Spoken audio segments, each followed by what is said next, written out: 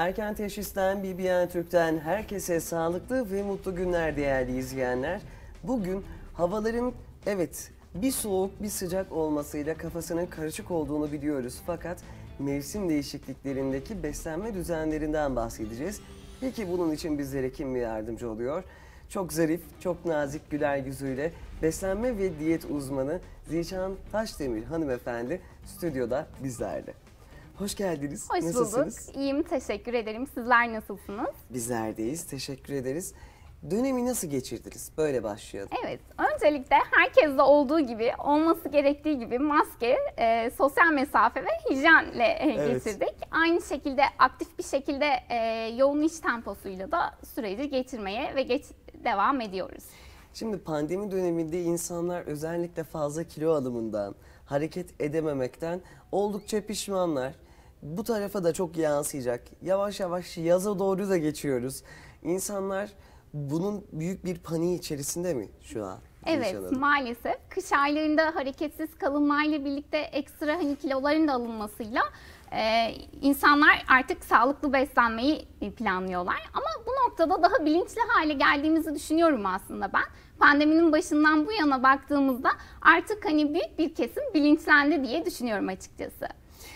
Bu noktada ben bir soru sormak istiyorum bilinçle alakalı. Şimdi özellikle sağlıklı beslenme diyoruz. İşte salatalar tüketiliyor, sosyal medyalara e, konular oluyor, bu mevzular, yemekler paylaşılıyor. Ama bir şekilde bu bilinçten kastımız o kadar çok bilgi ve o kadar çok bilgi kirliliğini de beraberinde getiriyor ki biz hangisine inanacağımızı şaşırıyoruz artık. Çünkü işte bir salata tarifi varsayalım ki işte diyet bir salatadan bahsediyoruz. Birisi zeytinyağı kullanıyor içerisinde, birisi işte susam yağı kullanıyor. Bu noktalarda işte herkesin farklı olduğu için diyeti fakat herkesin de ortak konusu olduğundan beslenme ne yapacağımızı bilmiyoruz bu bilgi karışıklığı ile alakalı. Ne yapmalı? Evet. Çok güzel bir konuya değindiniz aslında. Diyeti e, bazen e, danışanlarımızda da görebiliyoruz bunu. Komşumuzun diyeti yapılabiliyor, annemizin, babamızın, eşimizin diyeti yapılabiliyor. Aslında bu durum oldukça yanlıştır. Kliniğe gelen danışanlarımız bilir. Onlar ilk geldiğinde biz detaylı bir anemnez yani beslenme öykülerini alıyoruz. Ona göre bir planlama yapıyoruz. Hızlı yemek yemek yeme alışkanlıklarından tutun gece saat kaçta uyuduklarına kadar detaylı bir şekilde öğreniyoruz. Aslında diyet parmak izi gibi kişiye özeldir. Herkesin yaşı, cinsiyeti, boyu, fiziksel aktivitesi, bazal metabolik hızı birbirinden bambaşkadır. Aynı şekilde kan biyokimya sonuçları da bambaşkadır. Evet e, komşunuzla aynı kiloda olabilirsiniz ama onun bir rahatsızlığı vardır, bir vitamin, mineral eksikliği vardır. Diyette ona göre planlamalar yapılır. E, bu noktada da herkesin daha bilinçli olması gerekiyor açıkçası. Kesinlikle. Herkesin kendi karakteri olduğu gibi beslenme düzeninde kendisine özel olduğunu bilmesi ve ona göre hareket etmesi lazım. Evet yeni tatlara, yeni fikirlere hepimiz açığız. Fakat bununla da beraber çok kendi çemberimizden dışarı çıkmamak gerek anladığımız kadarıyla. Aynen öyle. Hani bu noktada e, gerektiğinde bir beslenme uzmanından mutlaka yardım alınmalıdır. Kesinlikle. Hepimiz artık uzman olduğumuzu zannediyoruz. Artık herkesin her şey hakkında muhakkak bir fikri var. Ama özellikle yine sağlık noktasında internet ve e, komşu Ayşe Fatma teyzeden ziyade Zişan Hanım gibi uzmanlarla bu konuları çözersek yüksek ihtimalle daha mutlu, yüksek ihtimalle daha sağlıklı olacağız. Değil Daha mi? iyi sonuçlar ve daha iyi e, verimli bir şekilde süreç e, de- değerlendirilebilir. Evet. Şimdi Zişan Hanım kış bir şekilde geldi geçiyor. Ee, hala soğukları da hissediyoruz ama yaz ve ilkbahar yakın. İnsanlar büyük bir panik içerisinde. Bir mevsim değişikliğinden bahsediyoruz. Özellikle sizde ne gibi değişiklikler var bu mevsim değişikliğiyle beraber? Evet, e, şimdi şöyle ki daha çok e, insanlar e, kilo aldıkları için evde kalma sürelerinin de artmasıyla, pandemide uzun süre vakit geçirmeleriyle birlikte aldıkları kilolardan şikayetçi olabiliyorlar. Ve bu noktada da hani düşük kalorili ve şok diyetlere yönelik bir eğilimde bulunabiliyorlar. E, ama bu durum özellikle metabolizma hızını e, ve vücuda e, olumsuz yönde zararlar veriyor. İşte 3 günde 5 kilo ya da işte daha kısa Eyvah. sürelerde daha uzun, e, daha fazla kiloların verilmesi sağlık açısından da uygun olmuyor açıkçası.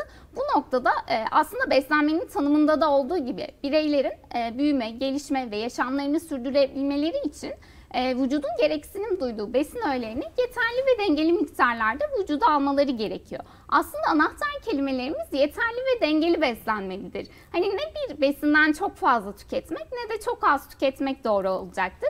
Kararınca olması bizler için daha güzel olacaktır.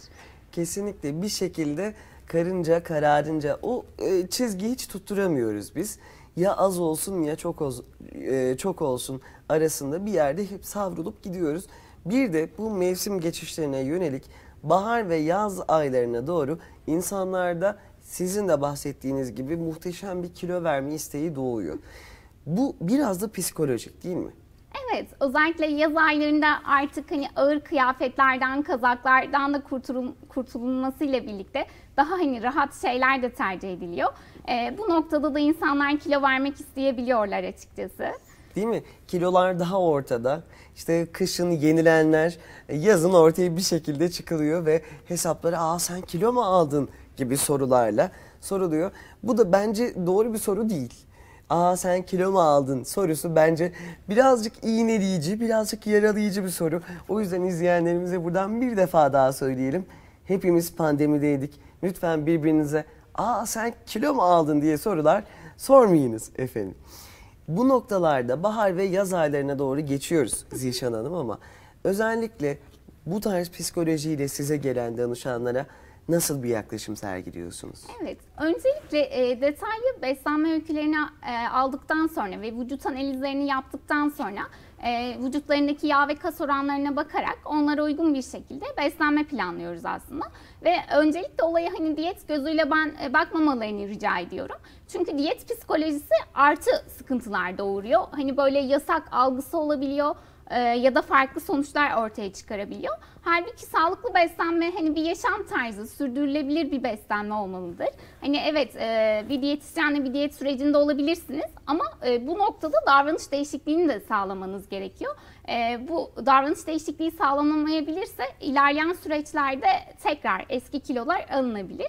Yasak değil sadece dengelemeyi öğretiyoruz aslında. Hani yeri geliyor hamburger de yiyoruz, pizza da yiyoruz e, her şeyi yiyoruz ama hani onun e, karşılığında neler yapabileceğimizi, hangi besin gruplarına e, denk olabileceğini öğretmeye çalışıyoruz. Bu noktada bu şekildeki bir yaklaşım hakikaten çok önemli. Niçin önemli? Çünkü biz insanlar özellikle e, hayatımıza yeni yeni diyetisyenlerin popülerliği girmiş olsa da şöyle bakıyoruz meseleye. Diyet ya da diyetisyen eşittir kilo vermek. Aslında böyle değil sağlıklı bir beslenmenin yolundadır. Sağlıklı bir beslenme için hizmet veriyorlardır kendileri ve bu uğurda kullanılmaları da gerekir aslında diyetlerin ve diyetisyenlerin fikirlerini. Ama biz genelde özellikle yaz aylarına doğru şimdi kışın 3 ayda aldık. 5 kilo aldık, 6 kilo aldık. Zişan Hanım'ın yanınıza geliyoruz bir danışan olarak. Ya Zişan Hanım hem pandemi vardı hem de kış bir 6-7 kilo aldım. Ben bir aya kadar bunu nasıl halledebilirim? Gibi sorulara nasıl karşılık veriyorsunuz? Evet, öncelikle o tarz durumlarda birazcık zamana ihtiyacımız olduğunu düşünüyorum. Sonuçta hani bu kiloları birden almadık ki birden verebilelim. E, ayrıca kısa sürede verilen e, kiloların tekrar geri alınabileceği de unutulmamalıdır. Çünkü bunların daha çok e, kas ve su kaybı e, şeklinde oluyor içeriğine baktığımızda. Evet evdeki basküllerde belki göremeyebiliyorlar detaylı ama bunun en iyi ölçütü aslında evde tartılıyorlarsa bireyler mezur ölçümüdür. Hani incelmelerinizin olduğu anda zaten yağ kayıplarınız başlamıştır. Ki kalıcılık da kilo verme noktasında yağdan sağlanır. Amacımız yağ kaybının olmasıdır. E, bu noktada e, bireyler acele etmeyip e, süreci akışına bırakmaları daha doğru olacaktır açıkçası. Evet biz biraz e, sizin de az önce dışarıda söylediğiniz gibi aceleci bir toplumuz. Biraz sakin olmamız gerekiyor öncelikle. Bu sakinlikten sonra aslında hedefe ulaşmak bir şekilde mümkün. Değil Kesinlikle mi? öyle. Normalde haftalık biz e, 500 ile 1 kilogram arasında hedefleriz zaten. Hani ki bu durum hani bireyle ilgili de değişebilir. Herhangi bir hastalığının olup olmaması, ideal kilosundan uzak olup olmaması Sizler ideal kilonuza yakınsınızdır. Mesela şu an bulunduğunuz kilo 60 kilodur. 50 ile 55 kilo arası sizin için idealdir. E, bu süre daha da zorlanabilir. Kilo verişiniz daha az olabilir. Ya da uzun yıllar aynı kilolarda kalmışsanız o direnci kırmak da açıkçası zor olabiliyor. E, ve şey e, şöyle bir durum var aslında. Kısa sürede aldığınız kilolar da kalıcı olmadan vermeniz daha kolay olacaktır. E, çünkü bu kiloların bir kısmı da organlarınızın etrafını yağ ile çevireceği için ister istemez yılların e, yağlanması şeklinde e, olacağı için daha uzun sürede e, gitmesi muhtemeldir. Bu noktada bence güzel bir haber verdiniz izleyenlere. Çünkü kısa sürede alınan kilolar fazla kalıcı olmayacağından onları bertaraf edebilmek daha kolay oluyor anladığımız kadarıyla. Kesinlikle öyle. Ee, Güzel bu bir haber. önlemler alınması güzel olacaktır. Bireylerin hani sağlıklı beslenmeleri e, çok rahat bir şekilde kilo vermelerine sebep olabilecektir. Ben şöyle düşünüyorum. Zararından zararın neresinden dönsek kar. Evet kışın oturduk. Evet kışın pek de sağlıklı olmayan besinler tükettik. Ama bugün e, bu ibreyi tersine çevirebilme şansımız var. Aynen öyle. Bu bizlerin elinde. Aslında şöyle de bir durum var. Kış aylarında hava soğuk olduğu için evet belki yürüyüş yapılamadı ya da pandemi sürecinin de etkisiyle e, belki yürüyüşlerde sıkıntı olabildi ama hani şu an hepimiz aktif bir şekilde telefon kullanıyoruz aslında.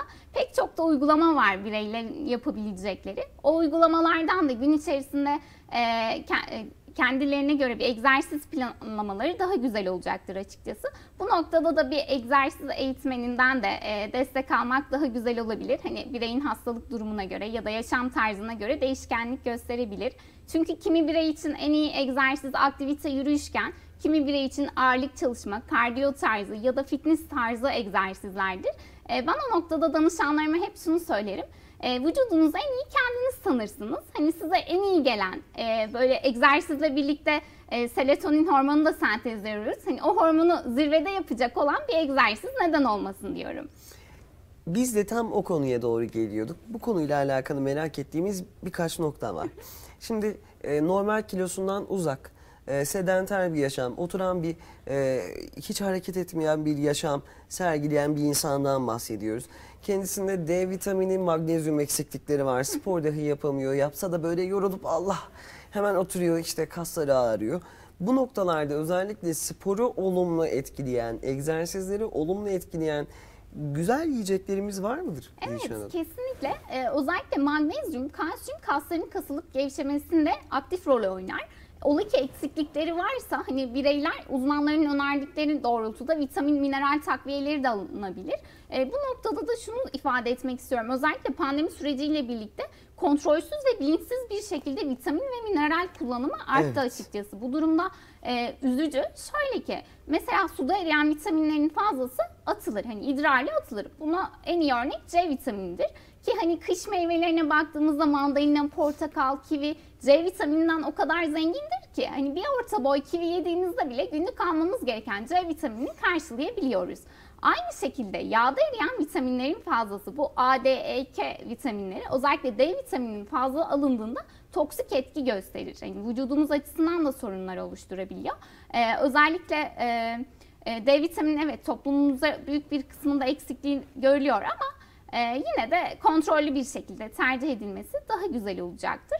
E, bir de şu durumumuz var. Spor yapan bireyler genelde protein tozuna eğilimli oluyorlar. Evet. E, gelen danışanlarımızda da görüyoruz. Eğer siz ağır sporlar yapmıyorsanız, profesyonel bir yönde ilerlemiyorsanız, e, özellikle sporcularda bulk ve definasyon dediğimiz ileri dönemler vardır. O tarz dönemlerde değilseniz protein tozu kullanmanıza gerek yok.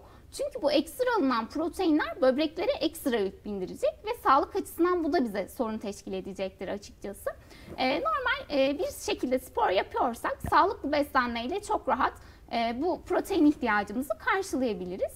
E, bir de spordan sonra doğrudan protein alma eğilimi vardır. Hani bireyler Evet. karbonhidratı göz ardı edi- ediyor. Burada bilinen bir yanlış da şudur. Spordan sonraki 2 saat bizim için çok kıymetlidir. Altın saatler deriz. Boşalan glikojen depoları yani karbonhidrat depoları için mutlaka bir karbonhidrat öneriyoruz. Kas yapımının devamı için de mutlaka bir süt grubu öneriyoruz. Sütten kastımız süt olur, yoğurt olur, ayran olur, kefir olur, hepsi olabilir. Ee, karbonhidrattan kastımız meyve olabilir, tam tahıllı sandviçlerimiz olabilir. e, mutlaka tüketilmesi uygun olacaktır. Spordan ilk iki saat içerisinde. Ben genelde danışanlarıma çantalarını işte bir kutu süt ya da işte bir meyve atmalarını rica ediyorum ki o kayıpları karşılayabilelim. Şimdi bu da insanların kafasında çok büyük soru işaretlerinden birkaçı. Sporun öncesinde mi yemek yemeliyiz, sonrasında mı yemek yemeliyiz? İşte tavuk mu yemeliyiz acaba, protein mi tüketmeliyiz sürekli gibi bir ton soru işareti. Çünkü işte bu noktada da vücut yapmak isteyen, işte fit görünmek isteyen beyefendiler ve hanımefendiler nasıl beslenecekleriyle alakalı tam bir fikre kavuşabilmiş değiller maalesef. Bu sebepten ötürü de özellikle spor sonrası ve öncesi beslenme nasıl olmalı? Yani kaç saat ara konulmalı? Evet, e, öncelikle ana öğünlerimizden sabah öğle akşam hemen ardından spor yapmak da yanlış olacaktır. E, sindirim ve hazımsızlık açısından ya da işte ağır egzersizler e, yapıyorsanız farklı sorunlar teşkil edecektir.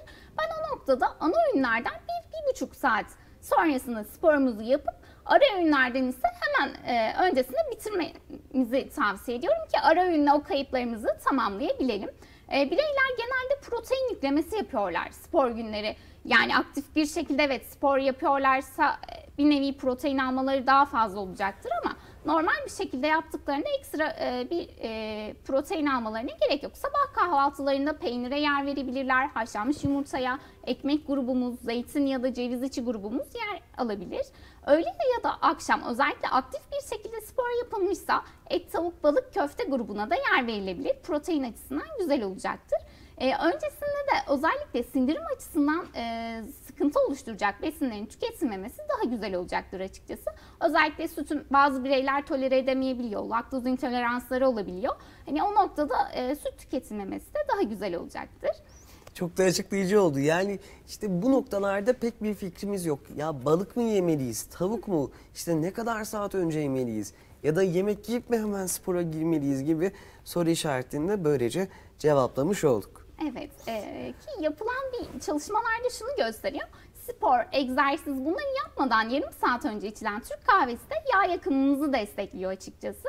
E, neden bir yarım saat öncesinde herhangi bir kalp çarpıntısı problemimiz oluşmuyorsa e, ya da farklı sorunlar oluşmuyorsa neden Türk kahvesi de tercih edilmesin? Gelelim burada yine bu meselenin başrollerinden bir tanesine Zişan Hanım.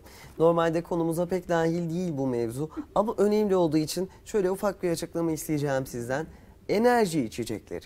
Evet. Ne düşünüyorsunuz bunlar hakkında? Şöyle ki enerji içeceklerinde de gruplandırmalarımız vardır. Şekerli ya da tatlandırıcı olanlar. Bireyler bakarlar işte bunda şeker yokmuş bunu alayım gibisinden ve e, tatlandırıcılarda da şöyle bir durumumuz vardır. Tatlandırıcıları ikiye ayırıyoruz. Doğal ve yapay olmak üzere. Yapay olanlar genelde tercih edilebiliyor. Aspartam, asasülfam K e, gibi e, tatlandırıcılar tercih ediliyor. E, bu çalışmalarda daha çok e, ratlar üzerinde, fareler üzerinde yapıldığı için aslında insan sağlığına olan etkileri de e, net bir şekilde bilinemiyor. Bu noktada ben çok tercih edilmesi taraftarı değilim açıkçası. Ama e, bazı durumlarda ekstra hani e, vitamin ve mineral ihtiyacımız artıyor. O durumlarda takviyeler kullanılabilir ama bunda da kontrollü bir şekilde kan değerlerine bakılarak kullanılması uygun olacaktır. Peki yani enerji içecekleri çok masum değiller diyoruz. Ee, zararlı yönleri muhakkak var. İçlerinde fazla şeker barındırıyorlar Evet. ve işte bu insülin direncimiz varsa, kan şekeri problemlerimiz varsa, tansiyon problemlerimiz varsa bir şekilde yol, su, fatura olarak bizlere geri dönüş sağlayabiliyorlar. Kesinlikle öyle. Ekstra getirileri olabiliyor bizler için. O içerikte sağlıklı beslenerek çok rahat ihtiyaçlarımızı karşılayabiliriz. Mesela taze sıkılmış meyve suları neden olmasın? Ya da işte o içerikte eksikliğini hissettiğiniz besin gruplarına yer vermek neden olmasın? Değil mi? İlla ki bir içecek arıyorsak niçin daha farklı bir şey olmasın? Peki bu noktada hemen ardından başka bir soruya daha geçiyorum Zişan Hanım. Özellikle ek olarak düşünebilirsiniz. Mevsim geçişlerinde meyvelerin olgunlukları, kaliteleri, tazelikleri, içlerinde bulunan vitamin miktarı da değişiyor yavaş yavaş. Evet. Artık her her mevsim, her meyve ve sebzeye ulaşabilsek de döneminde yemek daha uygundur diye Kesinlikle düşünüyoruz öyle. hepimiz. Bu mevsim geçişinde şu zamanlarda hem enerji kazanabilmek hem de sağlıklı beslenebilmek için hangi meyve sebzeleri tüketmeli? Özellikle C vitamininden zengin portakal, mandalina, kivi gibi besinlere yer verilebilir. E, muz potasyumdan zengindir. Az önce sporu konuştuk mesela. Evet. Özellikle spor yapan bireyler için de güzel bir tercih olacaktır. Evet şeker hastalığı ya da insülin direnci olanlar için çok doğru bir tercih olmayabilir. Glisemik indeksi yani kan şekerini hızlı yükseltir. E, birden düşürür. Bu durumda hani bireyde daha farklı sonuçlara sebep olabilir. Onlara tercih edil onlar tercih edilebilir. Sizin de söylediğiniz gibi aslında mevsim meyve ve sebzelerini tüketmek e, çok önemli. Hani mevsiminde her şey daha güzel ol- oluyor ve daha sağlıklı oluyor açıkçası. E, bir de normalde e, bir porsiyon meyve diye düşünüldüğünde bireyler 4-5 çeşit meyveyi düşünüyorlar tabaklarında. O da yanlış yaklaşım. Evet meyve güzeldir. İşte fruktoz içerir, bir, bir karbonhidrattır. Bizler için güzeldir ama fazlası yağ olarak vücuda geri dönecektir açıkçası. Ee, mesela bir portakal bir porsiyon meyveniz ediyor. Bir mandalina aynı şekilde. O noktalarda ben hep şunu söylüyorum. Yanınızdaki bireylerle paylaşın. Hani 4-5 çeşit meyve koymaktansa paylaşarak tüketmek daha güzel olacaktır. Her şeyde olduğu gibi fazlası bize yağ olarak geri dönecektir. Şimdi sağlıklı olsun diye abur cuburu bir kenara bırakıp meyve tüketiyoruz ama az önce çok güzel söylediğiniz bir tane kivi günlük almamız gereken C vitamini miktarını karşılıyor. Gerisi bir şekilde kalori ya da atık olarak bize geri dönüyor. Fakat biz bir poşet mandalina, bir poşet kivi yemeye devam ediyoruz. Buna da bir dur demek lazım değil mi? Kesinlikle öyle. E, Ekstra tükettiğimiz her şey e, ister istemez yağ olarak depolanıyor. E, bu da sonucunda kilo olarak bizlere geri dönüşü oluyor. Ya da işte fazla miktarda e, tükettiğinizde kan şekerinizde dengesizlikler meydana gelebiliyor. Birden yükseliyor, tekrar düşüyor. E, kısa süreli acıkabiliyorsunuz. Hani o noktada bazen bireyler e, şu şekilde söylüyorlar. Mesela e, meyve tüketiyorum ama çok hızlı bir şekilde acıkıyorum. O tarz durumlarda yanına protein grubuyla destekleyebilirler. Süt, yoğurt, ayran, kefir olabilir ya da ceviz, badem, fındık içi gibi, çiğ badem gibi gruplarla desteklerlerse kan şekerleri daha dengeli olacaktır. Ve böylece e, tokluk süreleri de daha uzun olacak belki de. Kesinlikle öyle. Evet, harikulade. Şimdi bu noktayla beraber yine başka fakat önemli bir konuya geçelim. Daha sonrasında araya doğru gidelim Zişan Hanım. Konu çok önemli. Hepimiz için büyük bir önem arz ediyor. Pandemi döneminde zaten alt üst oldu. Evet, uyku düzenimizden bahsediyorum. Bu uyku düzeninin beslenmemizde, kilomuzda ne gibi bir rolü var hepimiz merak ediyoruz. Evet, sizin de söylediğiniz gibi maalesef pandemi sürecinde en büyük sorunlarımızdan birisi de uyku problemleri. Ee, uykuya baktığımızda e, e, az uyuyan bireylerde açlık ho- hormonu olan grelin artıp tokluk hormonu olan leptin ise azalıyor. Bu durumda bireyin gün içerisinde daha fazla kalori almasına dolayısıyla kilo alımına sebep olabilmekte. Aynı şekilde siz gece ilerleyen geç saatlere kadar uyanık kaldığınızda bir yeme isteğiniz oluşuyor. İster istemez bir şeyler atıştırabiliyorsunuz. Bu durumda bizler için aslında olumsuzluklar teşkil ediyor ve hani kilo açısından geri dönüşlerimiz oluyor. Ee, Bir de şöyle bir durum var. Bazen kimi bireyde e, bir şeyler tüketip hemen uyuyorlar. Bu da çok yanlış. Hani sindirim, hazımsızlık açısından e, ve e, şöyle bir durum var. Bireyde ülser, reflü gibi hastalıklar varsa hani bunları da tetikleyebiliyor. Bu da sorun oluşturuyor bizim için. E, uykudan önce yaklaşık e, en az 4 saat önce son e, ana öğünümüz yani akşam yemeğimizin ye- yemin, yenilmiş olması bizler için güzel olacaktır. Son 2 saat öncesinde de son ara öğünümüzü yapmamız güzel olacaktır. Aynı şekilde bireyler uykuya geçişlerini kolaylaştırmak için e, triptofan amino asitinden zengin besinleri tüketebilirler. Hemen açalım bu noktada. Muz olabilir, süt olabilir, işte badem gruplarına yer verebilirler. Bunlar uykuya geçişlerini kolaylaştıracaktır. E, ve hani bilgisayar, telefon, tablet gibi cihazların da kullanılmaması daha güzel olacaktır. Aynı şekilde gece uyurken e, sentezlenen bir hormonumuz vardır melatonin. E, bu hormonumuz karanlıkta sentezlenir. E, bu yüzden e, gece belli saatler aralığında da uykumuzu sağlamak önem arz etmekte. Evet. Kaç saat uyuduğumuzu uyandıktan sonra nasıl beslenmemiz gerektiğini sizlere soracağız Zişan Hanım. Ama onun öncesinde kısa bir reklam arasına gidiyoruz.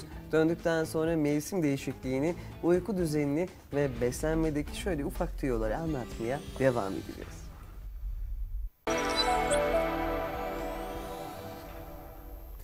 Erken Teşhis programında diyetisyen Zişan Taşdemir hanımefendilerle mevsim değişikliğinde neler yapılmalı, spordan önce ve sonrasında neler tüketilmeli, nasıl tüketilmeli ve şimdi de e, uyku durumunda uykudan önce ve sonrasında neler yapılma gibi konuları çok da keyifli bir şekilde anlatmaya devam ediyoruz. Şimdi Zişan Hanım herkesin farklı farklı düşünceleri var. Mevsim değişiklikleriyle gündüz ve gece oranları değiştiğinden kaynaklı uyku şekilleri de birazcık e, saat farkı içeriyor aslında. Uyku saati ne kadar olmalı? Yani bir insan beslenmeden ne kadar uyumalı? Evet. Ee, aslında baktığımızda uyku saatinde de genel geçer bir şey söyleyemeyiz. Hani yaş gruplarına göre çok farklılıklar gösterir bu. Yeni doğan bir bebeğin uyku süresiyle bir yetişkinin uyku süresi hani çok da fazla bir olamaz. Ee, ama e, mümkün olduğunca bireyler özellikle 6 ile 8 saat uyuma, e, uyumalarına özen göstermelidirler. Özellikle saat 11 ile gece 2 ya da 3 saatleri diliminde de bu az önce bahsettiğimiz melatonin hormonu açısından e, uykuda olmaları açıkçası daha güzel olacaktır. Bazen uyarıcı besinler uykuya geçişi zorlaştırmakta. Özellikle çay, kahve gibi kafein içeren içecekler uykuya geçişi zorlaştırmakta. Bu durumda da bireyler kafein içeren e, içecekleri e, tüketmeyebilirlerse daha güzel olacaktır. Şimdi diyelim ki misafirliğe gittik Zişan Hanım. Ee, bu zamanda gitmedik tabii ki. Bu zamanı bir atlatalım ondan sonra muhakkak gidelim. Fakat dediler ki ya bir kahvede içmeyelim mi çaydan sonra denildi. Saat yaklaşık 10 civarları bir sabah kalkıp tabii işe de gideceğiz ama 12 civarlarında uyuduğumuzu varsaysak o kahveye evet mi demeliyiz yoksa hayır mı demeliyiz? Ee, şimdi bu durumda aslında vücudumuzun tolere etme durumuna göre e, değişkenlik gösteriyor. Kimi birey kahveyi içer içmez uykuya çok rahat bir şekilde geçebiliyorken e, kimi birey de geçemiyor. E, aslına bakarsak bu durum e, size kalmış bir durum. evet de diyebiliriz yani o halde. Evet. Peki o zaman tabii misafirliğe gitmişken ev sahibini de kırmamak gerekir. Peki uyandık varsayalım. Vücudun ilk ihtiyacı olan şeyin su olduğunu artık hepimiz bir şekilde biliyoruz ama uyandıktan sonra özellikle kahvaltı yapamayanlar ya da çok acıkmış şekilde uyananlar gibi e, iki farklı insan grubu var. Nasıl beslenilmeli uyanıldıktan sonra? Evet, e, uyanılınca özellikle bağırsak hareketliliği açısından da e, bir bardak ılık su ya da oda sıcaklığındaki su içilebilir. E, bu noktada da bazen sıcak su mu içelim, soğuk su mu içelim şeklinde çok fazla sorularla karşı karşıya kalıyoruz. E, bu duruma baktığımızda aslında midede kalış süreleri farklıdır sıcak suyla soğuk su arasında. Sıcak su ortalama 40 dakika gibi bir sürede midenizde kalırken Soğuk su 20 dakika gibi bir sürede kalıp midenizi terk eder. Özellikle ağır egzersiz yapmışsanız, çok fazla terlemişseniz mutlaka soğuk su içilmeli e, ki kayıplarımızı karşılayabilelim.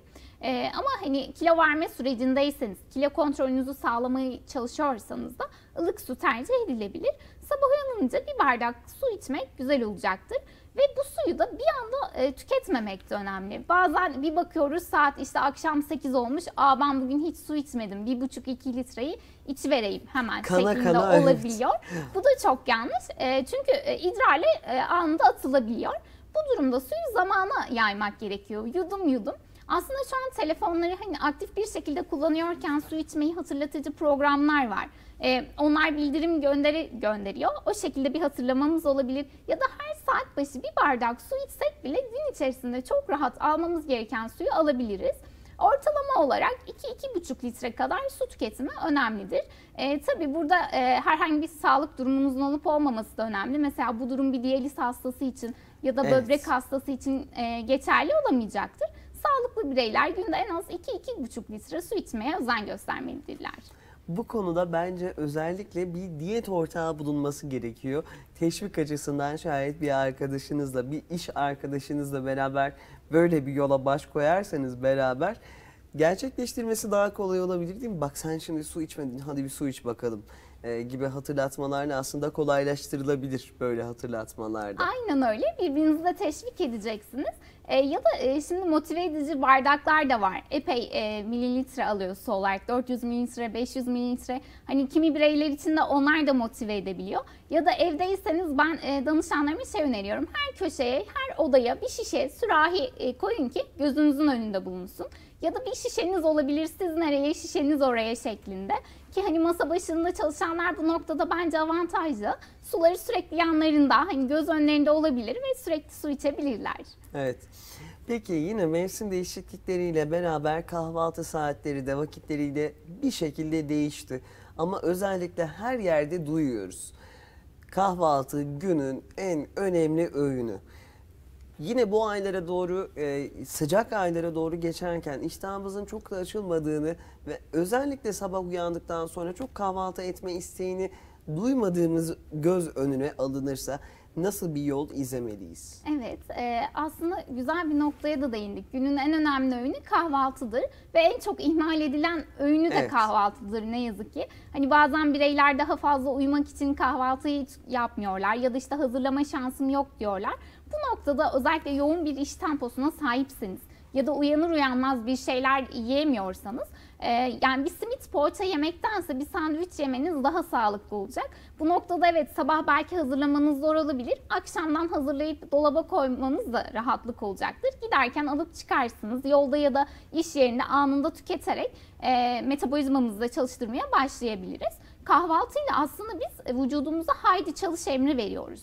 Ee, siz ne kadar kahvaltıyı geç yaparsanız vücudunuz o kadar, metabolizmanız o kadar geç çalışmaya başlıyor. E, sabah 7'de güne başlayıp siz 12'de 1'de bir şeyler yiyorsanız e, metabolik hızımızda epeyce bir düşüşümüz oluyor açıkçası.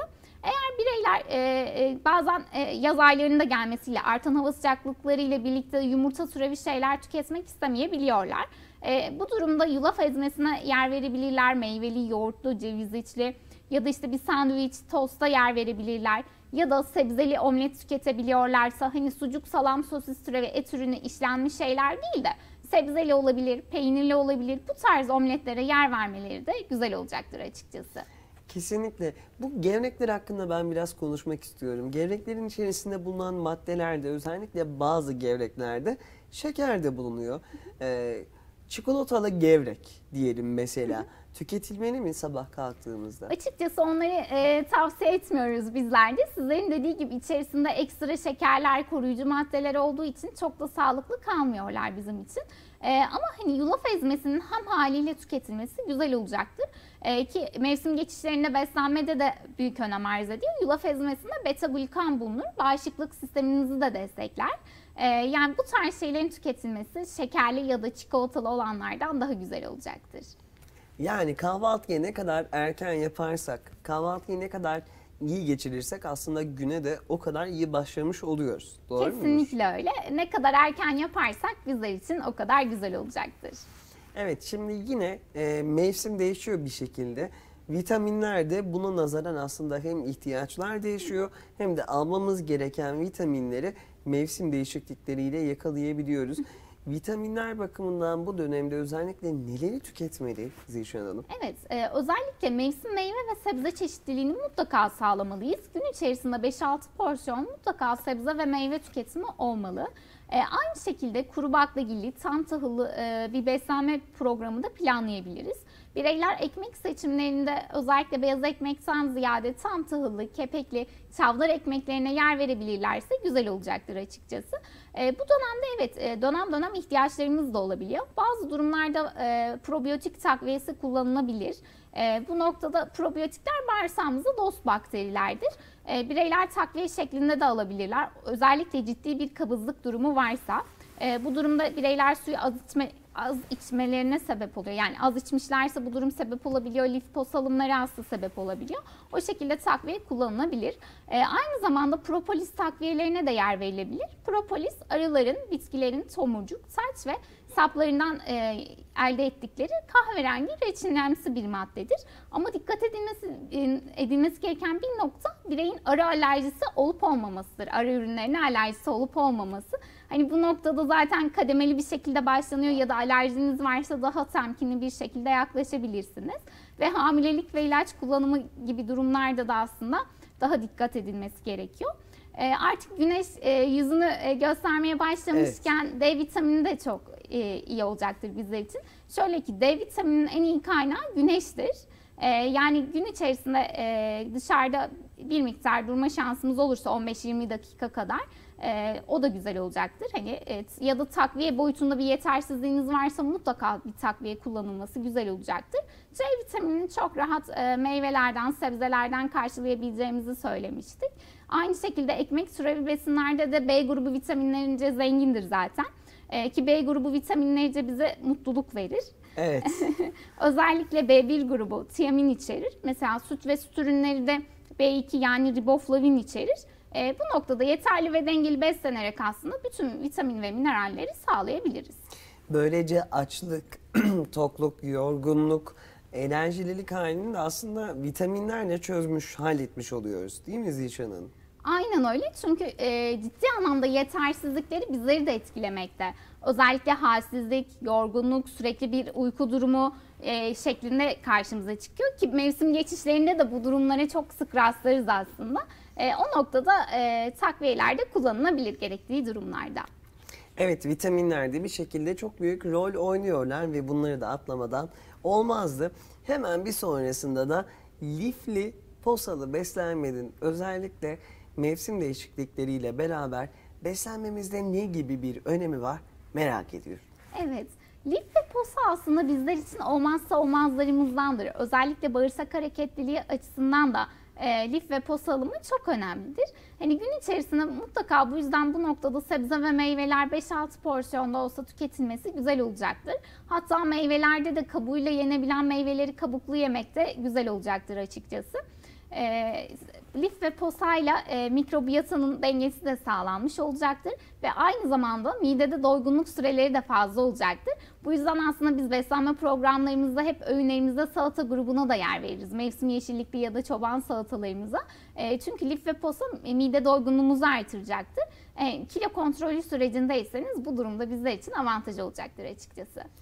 Bu noktalarda bazı insanlar diyorlar ki evet e, meyveleri sıkarak taze sıkılmış olarak tüketebilirsiniz ama bu sefer de posa anlamında zayıf kalacaklardır. Vitamini kabuğundadır. Lütfen o şekilde tüketin diyenler var. Bu noktada ne yapılmalı? Özellikle meyvelerde, meyvelerde posalı beslenme doğru mudur? Bu şekilde evet, mi devam e, edilmelidir? Taze sıkılmış meyve sularında e, posayı tam anlamıyla alamıyoruz.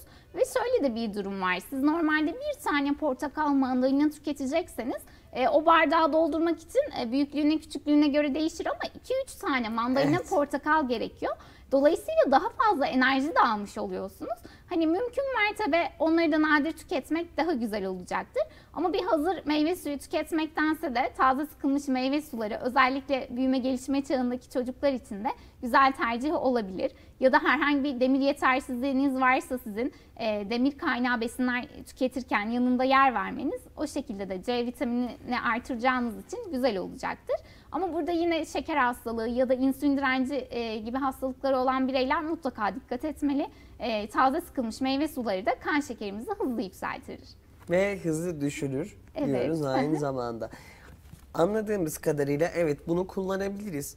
E, fakat fazla enerji demek daha sonrasında kullanılmayınca yağ dönüşen ve bize yolsu fatura olarak gelen kilolar demek. O yüzden buna dikkat etmemiz gerekiyor öncelikle. E, doygun bir meyve tüketimi istiyorsak onu direkt olarak yemek daha keyifli olacaktır. Çocuklara belki e, zaten hareketliler, enerjiyi de harcıyorlar. Onlara sıkabiliriz diyoruz Evet, yani. daha güzel olacaktır. Evet. Şimdi yavaş yavaş e, benim birkaç sorum kaldı ama önemli, en önemlisi sanırım bu. Zayıflama diyetleri. Şimdi yaza doğru geliyoruz ve insanlar harıl hurul bir şekilde kilo vermenin peşinde. Diyetisyene gidiyor. Diyor ki Zişan Hanım ben 10 kilo verebilir miyim? Zişan Hanım da haliyle diyor ki hayır veremezsin tabii ki. O da hayır vermem lazım. Bir şekilde internete, sosyal medyaya, Ayşe Fatma teyzeye soruyor ve bunu yapabilmenin yollarını bulup bir şekilde kandırılıyor. Bir ayda 10 kilo vermek sağlıksızdır değerli izleyenler. Lütfen bunun farkında olalım ve eğer kilo vermek istiyorsanız, eğer sağlıklı beslenme nedir bilmek istiyorsanız lütfen bir uzmana danışın. Zişan Hanım gibi uzmanlara danışırsanız daha isabetli olacaktır. Bu noktada beslenme, zayıflama diyetleri özellikle nasıl ilerliyor? Evet, e, bu dönemlerde düşük kalorili ve şok diyetleri sizin de söylediğiniz gibi bir eğilim artabiliyor. Ya da e, popülaritesi yüksek olan diyetlere olan bir eğilim de artabiliyor. Kliniğe gelen danışanlarımızda gözlemlediğimiz kadarıyla o kadar çok farklı diyet çeşidi var ki e, birbirinden bambaşka. E, bu sıra revaçta olan ketojenik diyet, e, özellikle ketojenik diyet talebi de olabiliyor. Şimdi ketojenik diyete baktığımızda aslında kademelidir, çeşit çeşittir. Yağ oranı çok yüksek olan bir diyettir. Aslında ketojenik diyetin çıkış noktasına da baktığımızda e, epilepsi hastaları için e, planlanan bir diyettir. Bizler Öyle daha mi? çok aynen öyle epilepsi hastalarında uyguluyoruz bu diyetleri. E, e, özellikle ataklarını kontrol altına almalarına e, yardımcı oluyor. Bizler normalde gün içerisinde beslenmemizde %25'lik 30'luk kısımda yağ planlarken sağlıklı bireylerde ketojenik diyetimizde %70-80'lere kadar yağ oranımız çıkabiliyor. Çok çok az miktarda e, karbonhidratımız, e, %10 civarlarında ise proteinimiz yer alıyor. Yani aslında yapılması çok çok zor bir diyet. Çünkü meyve grubuna yer veremiyoruz, ekmek grubuna yer veremiyoruz. Çünkü bunların karbonhidrat içeriği çok yüksektir. Ketojenik diyette amacımız vücudun e, ketozise girmesidir. Hani artık yağları kullanmaya başlamamızdır o noktada. E, bunun da en iyi belirtileri mesela aseton kokusudur. Hani ağızda ya da idrarda aseton kokusunun olması ketojenik diyete e, girildiğini göstergesi olur. E, ama her birey için açıkçası ketojenik diyeti önermiyoruz. E, en uygun diyet aslında Akdeniz diyetidir. Sebze ve meyve ağırlıklı, tam tahıllı, kuru baklagilli, e, işte yeterli miktarda et ve ürünlerini içeren bir diyettir. E, bu noktada açıkçası daha sürdürülebilir bir beslenme planlanmalıdır. Aynı şekilde e, bazen sıvı diyetlere olan ilgi de artmakta. Detokslar ya da sıvı smoothie şekliyle olan diyetlerimiz. Bunu da önermiyoruz. Hani çiğneme refleksiyle aslında beyne de tokluk sinyali gidiyor. Ya da işte midemiz e, bir şeyleri çiğnediğimizde hani besin geleceğini fark ediyor, salgılarını salgılamaya başlıyor. E, yani yaşam boyu sürdürülebilecek bir diyetler değildir bunlar. E, düşündüğünüzde evet belki birkaç ayda hedefine ulaşırsınız ama e, yaşam boyu sıvı beslenerek yaşayamazsınız. Kendi lif ve posaya değindik az önce. Lif posa açısından da sıvı diyetler biraz sıkıntılı olabiliyor. Bu noktada daha sürdürülebilir beslenme planlanmalı. Evet zaten kişiye de özeldir fakat popülariteyle beraber insanlar duyduklarını muhakkak denemek, uygulamak istiyorlar. Bu noktalarda dediğimiz gibi uzmanlara danışırsanız daha isabetli olur çünkü yine bunları denedikten sonra pişman olmak, e, geri dönülmeyen yollara girmek mümkün olabiliyor. Çünkü tükettiğimiz, beslendiğimiz yiyeceklerin birçoğu bizim sağlığımızı etkileyen şeyler.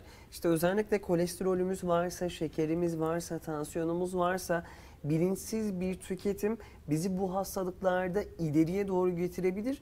Özellikle buna da dikkat etmek lazım. Değil mi Aynen öyle. Mesela protein diyeti yapıldığında böbreğe olan e, yük artıyor ve böbrek yetmezliğine kadar e, sonuçlanabiliyor bu durum. Ya da bir diğer çeşit diyetimiz glutensiz diyettir. Hani şu an e, bir moda haline geldi. Evet. Glutensiz diyeti özellikle çölyak hastalarında ya da glutene karşı intoleransı olan bireylerde kullanıyoruz ya da farklı hastalıklarda tedavi etmek amaçlı kullanıyoruz. Gluten tahılarda bulunan bir çeşit proteindir aslında. Ee, özellikle e, şu an toplumumuzda da ekmeğe karşı bir ön yargı olduğu için hani glutensiz besleneyim ya da işte tahıllara yer vermeyeyim şeklinde yaklaşımlar olabiliyor. Ee, ama hani çölyak gibi ya da daha farklı sorunları olan bireylerde biz onlarda da ekmek yazıyoruz. Bu sefer mısır ekmeği yazıyoruz. Tam tahıllı, kepekli çavdar değil de hani hayatımızın olmazsa olmazı şeklinde geliyor. Bu noktada moda diyetlerden, popüler diyetlerden e, özellikle bir uzmanınızdan görüş almadan e, yapılmaması daha iyi olacaktır. Kesinlikle. Çok da isabetli konuştunuz. Çok da güzel konuştunuz. Yavaş yavaş sona doğru geliyoruz Zişan Hanım. Özellikle mevsim değişikliğiyle beraber bize birkaç tane altın kural söyleyebilir misiniz? Tabii.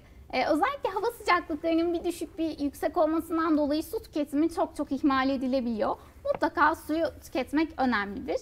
Ee, ve e, pandemi süreci dedik, uyku düzenliliği dedik, hani beslenmemizi de etkiliyor. Uyku düzenine önem verilmelidir. Gün içerisinde mutlaka yeterli miktarda sebze ve meyve tüketilmelidir. Aynı şekilde egzersiz yapılma şansı olursa egzersize yer ver- verilmelidir. Pişirme yöntemlerinden haşlama, ızgara, fırında pişirme gibi yöntemleri daha sağlıklı olacaktır. Yağda kızartmalardan kaçınmak da daha doğru olacaktır. Haftada yeterli miktarlarda kuru baklagillere de aynı şekilde yer verilmeli. Et tavuk grubuna da e, haftada birkaç öğün kadar yer verilebilir. Özellikle balık tüketimi çok çok az olabiliyor. Biz haftada en az iki gün tüketelim istiyoruz ama ne yazık ki o da olmayabiliyor. Yılda bir kez. Kesinlikle öyle. E, o noktada balık tüketimimiz de artırılabilir ve balıkta da en büyük hatayı kızartarak yapıyoruz. Omega 3'ünden faydalanamıyoruz. Onu da fırında işte haşlama, buğulama gibi, ızgara gibi pişirme yöntemleriyle pişirebilirsek çok daha sağlıklı olacaktır. E, bu şekilde. Evet. Çok keyifli bir programdı öncelikle onu söyleyeyim. Katıldığınız için çok teşekkür ederiz. Ben teşekkür Mevsim ederim. değişikliği ile alakalı birçok şeyi bu şekilde de öğrenmiş olduk. Çok sağ olun Ben katıldığınız teşekkür için. ediyorum. Evet. Erken Teşhis programında beslenmeye dair fikirlerimizi paylaştığımız uzmanlıklarla beraber aslında yapmamız gerekenleri söylediğimiz bir program daha oldu değerli izleyenler. Biz sağlığı paylaşmaya ve çoğaltmaya devam ediyoruz. Bir sonraki programda görüşünceye dek hoşça kalın, Sağlıkla kalın.